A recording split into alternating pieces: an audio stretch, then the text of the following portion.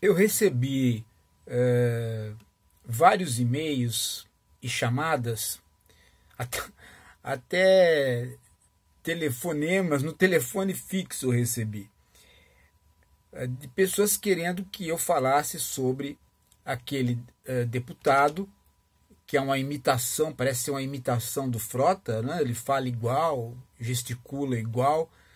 É, deve ter sido um aspirante ator pornô que não deu certo.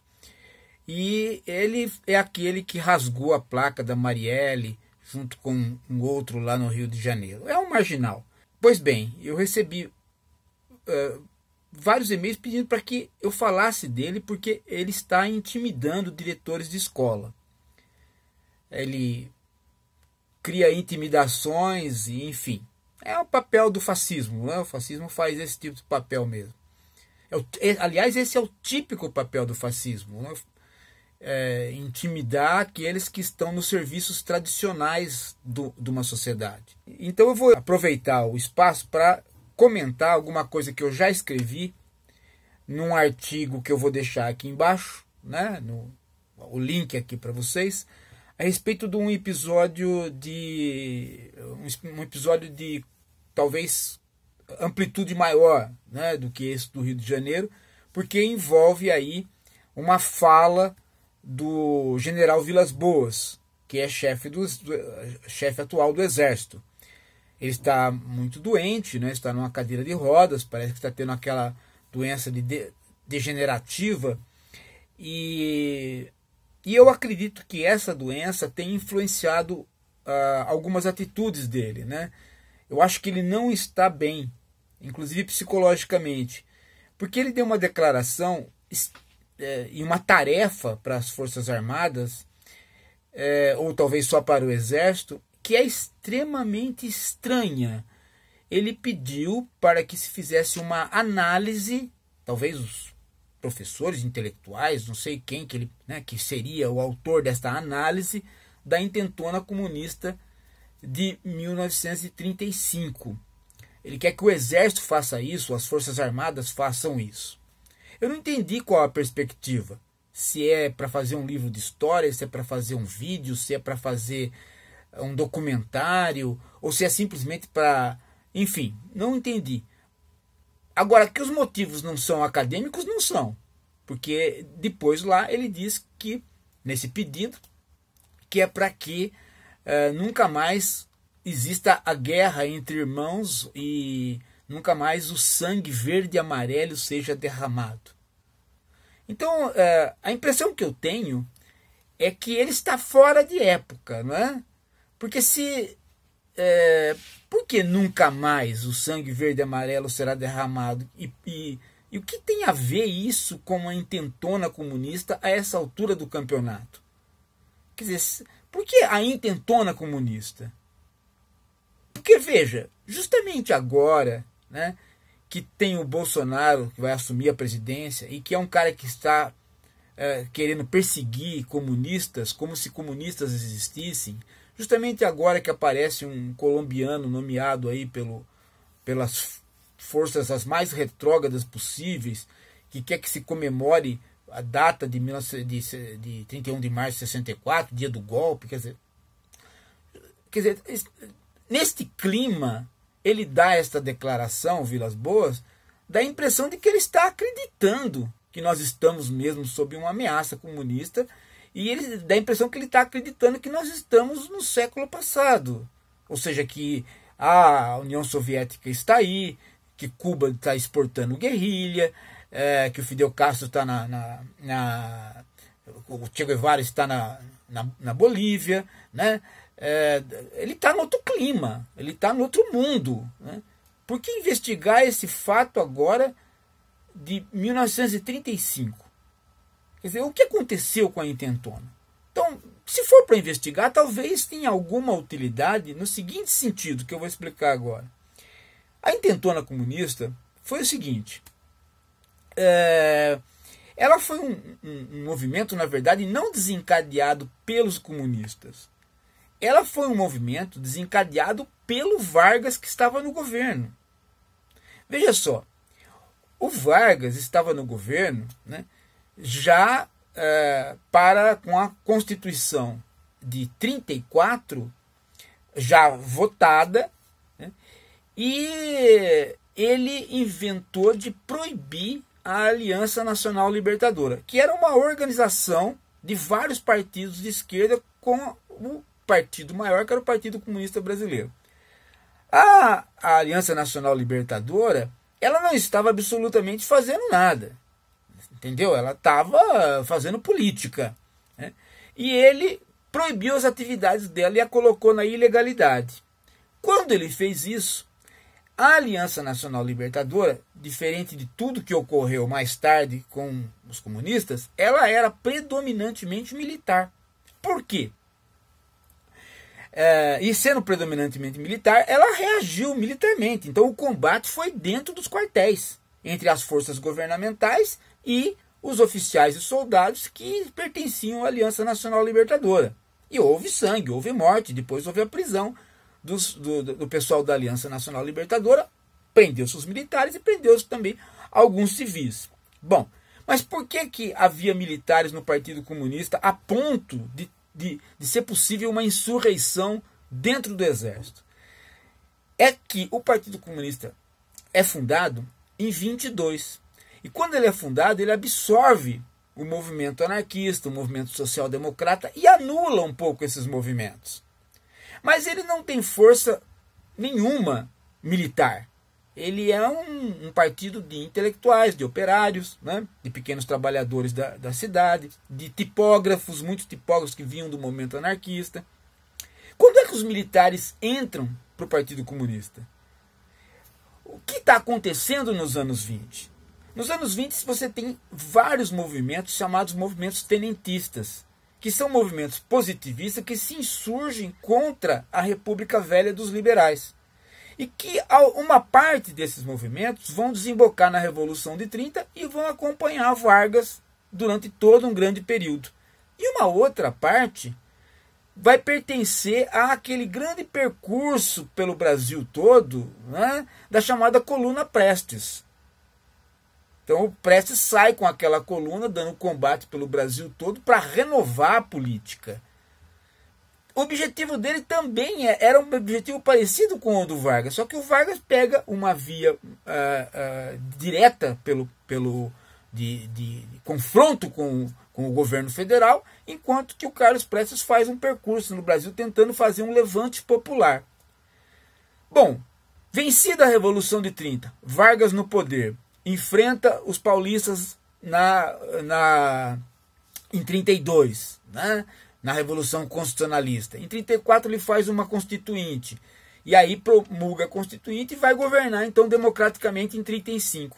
Mas neste período, o pessoal da coluna Prestes, os positivistas da coluna Prestes, principalmente o Luiz Carlos Prestes e o Agildo Barata Ribeiro, pai do Agildo Ribeiro, humorista que morreu recentemente, eles eram militares e eles entraram para o Partido Comunista. E continuaram militares. Né? E eles militarizaram o Partido Comunista. Então, quando houve a intentona comunista, ou seja, a reação ao fechamento da Aliança Nacional Libertadora pelo Vargas, o confronto foi um confronto de quartel. Então, houve morte? Houve. Mas o que, que era? Era um confronto entre comunistas e governo? Em parte, gente. Porque no fundo, no fundo, era o quê? Era uma revanche de positivistas com positivistas. No fundo, no fundo foi isso. Por quê? Porque os próprios militares que estavam no Partido Comunista tinham lido muito pouco de comunismo. Tinham lido absolutamente nada. Eles tomaram o Partido Comunista, né? por força da, da, da corporação que eles eram, né? e confundiram revolução com golpe de Estado. Então, quando eles colocaram, quando eles se colo foram colocados na ilegalidade, eles reagiram dentro do quartel como se fosse fazer um golpe de Estado. E isso era o que o Vargas queria para pegá-los, né? E para tirar de uma vez por todas os militares rebeldes de dentro das Forças Armadas, ou seja, seus antigos é, é, companheiros e não companheiros e adversários de positivismo lá no Rio Grande do Sul. Bom, o resultado foi que ficou, uh, os comunistas todos pagaram este preço por, na verdade, um combate de quartel entre quase comunistas e forças legalistas. Né? No fundo, no fundo foi, digamos assim, uma, um segundo turno de, de disputa entre positivistas. Foi isso. E aí o Prestes foi para a cadeia, né? e todo mundo foi para a cadeia dos comunistas.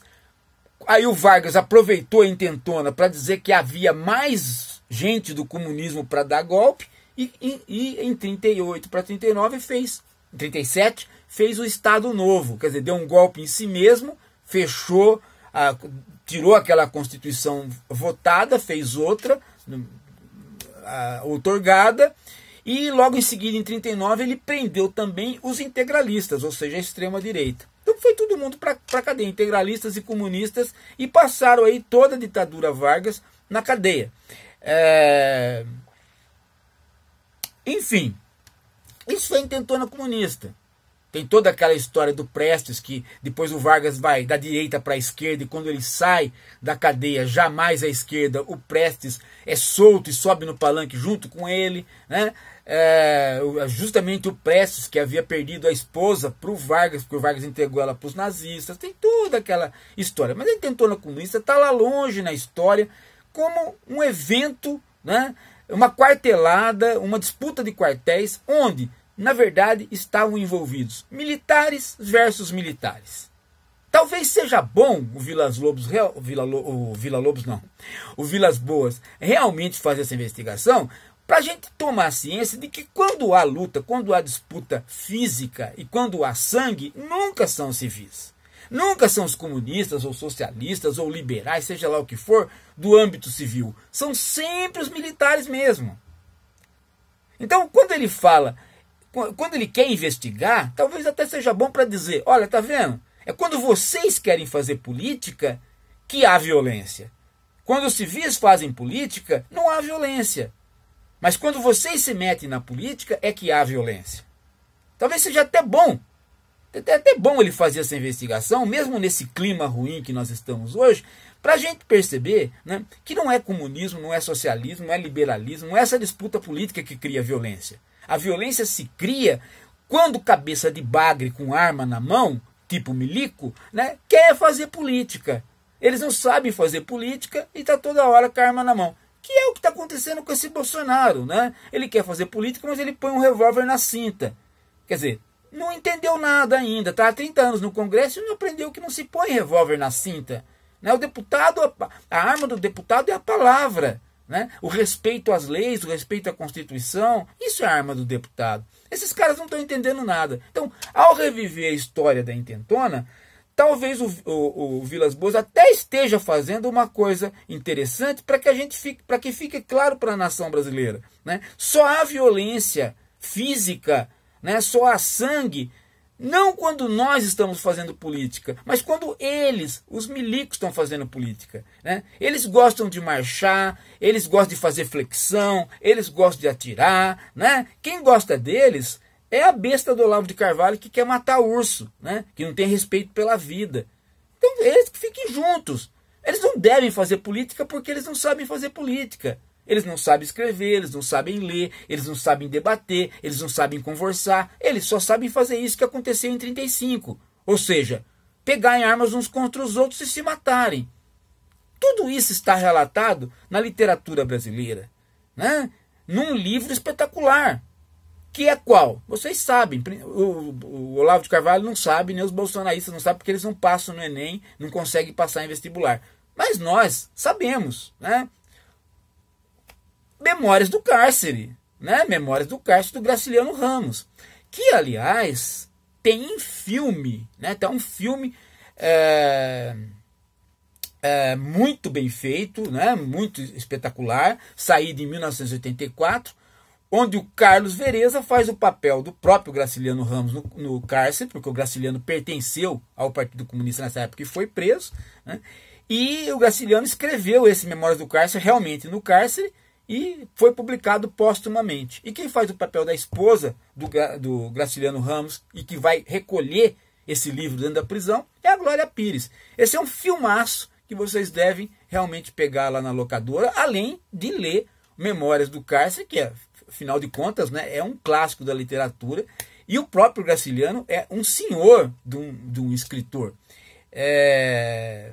Aliás, que também foi político, ele foi prefeito. Né?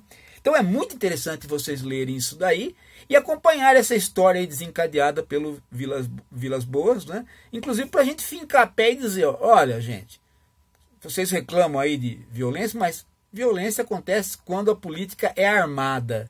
Né? E nós, civis, não fazemos política armada. Né? Bem, tudo isso para dizer a seguinte coisa: esse pedido do Vilas Boas foi estranho, tá? É um clima estranho. Deu a impressão, dado que o episódio todo da intentona é dentro do quartel, deu a impressão de que ele está falando não para nós. Deu a impressão de que ele está falando para o quartel. Como se o quartel tivesse pessoas que estão se politizando fora do eixo. E aí ele deu esse recado. Ou, ou seja, é como se ele estivesse adivinhando que há uma cisão dentro do quartel, em que então é preciso relembrar o que aconteceu quando houve essa cisão da intentona, que foi a morte de pessoas. Aí então, então aí o recado é outro. Então aí o recado não é para mim, o recado é lá para o quartel. E aí ele estaria denunciando uma coisa que está todo mundo com medo, que o quartel se meta na política. O Mourão dizendo que não vai se meter, mas o Vilas Boas dando esse recado. Que recado extemporâneo é esse? Para a sociedade civil que não é, para os civis é que não é. É para os próprios militares, afinal de contas, a intentona é um evento militar, é militar contra militar. Do que, que ele está falando? Então, isso, isso, isso é que me coloca aí com a orelha em pé. Né? Porque está havendo um buchicho aí, de uns falam que o exército não, não está se politizando, outros falam que está se politizando, né? Então, isso é muito chato. E esse recado dele, eu acho que não deveria ter sido feito. Eu acho que ele deve controlar a tropa. Mas ficar dando um recadinho para a própria tropa assim, a não ser que seja loucura da cabeça dele por conta da doença. Aí é outra coisa. Mas tem essa, tem essa possibilidade de não ser. Tem essa possibilidade dele estar aí, né, dando um recado para a própria tropa, ou seja, relembrando a intentona, porque a intentona não é uma intentona comunista, no sentido que a gente imagina um, um golpe, uma revolução comunista. Ela é um, uma quartelada contra quartelada. Ela é uma insurreição dentro dos quartéis, e o sangue que correu foi lá dentro. Ah, leia, leia o Memórias do Cárcere e assiste o filme, tá? Vocês aproveitem o momento para aprender também e acompanhar essa situação aí, porque isso é importante para a nossa resistência, gente. Entender todo esse quadro é importante para a nossa resistência. Tá ok? Eu volto daqui a pouco. Mas vocês deixam, dão o like aí, não vão esquecer do like, né? Não vão esquecer do sininho, façam a inscrição no canal e compartilhe o vídeo. Tá bom? Então é isso.